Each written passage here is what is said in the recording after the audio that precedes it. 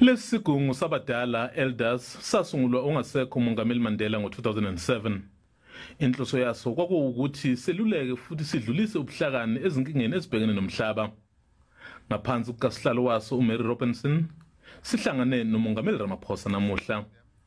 Nakuba sizwakalise ukukhuthazeka ngemizamo yaleli mayelana nokuguquka kwesimo sezulu, sikuhlabe kakhulu ukubuyela emumva kwemizamo eminingi yokusindisa umhlaba.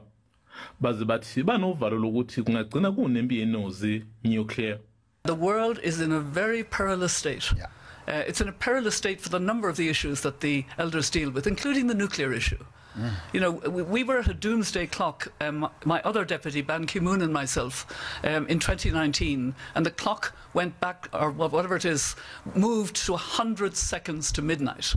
The, the highest point of the. I think, you know, next January, I wouldn't be surprised if it moves further.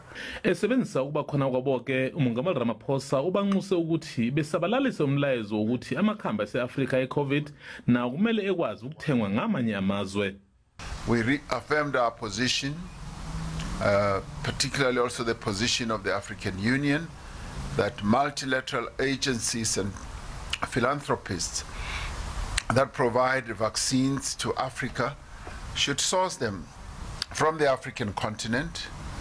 We believe, as we said to them, this is critical for the future of health security on our continent.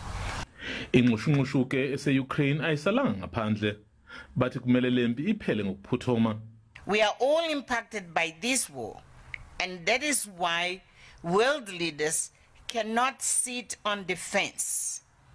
All efforts must be made to bring about peace, not escalation, to this terrible conflict.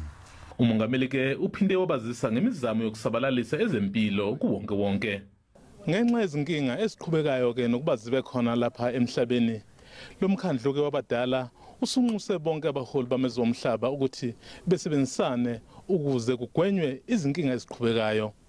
Umzondele mpetsho SABC epitoli.